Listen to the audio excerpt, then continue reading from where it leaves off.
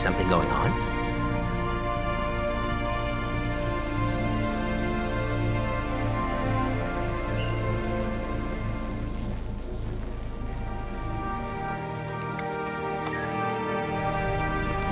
How interesting.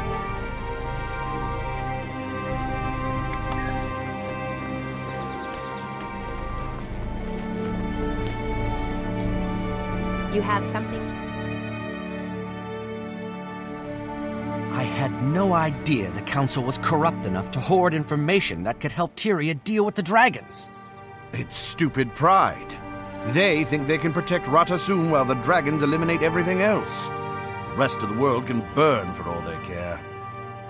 Listen, I've fought the dragons, and I'm telling you, the Council alone has no chance against them.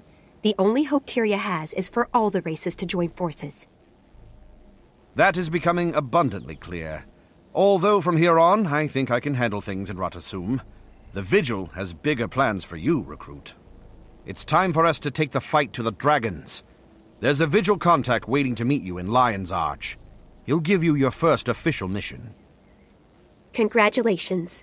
Getting you into an order was the first step. Now for the tricky part. I'm bound for Lion's Arch too. I'm meeting an old friend there. We were members of a brilliant team, Destiny's Edge. Things went horribly wrong, but I'm starting to think the team is worth another try. We almost took down an Elder Dragon without any help, but the dragons are too big for one group to tackle.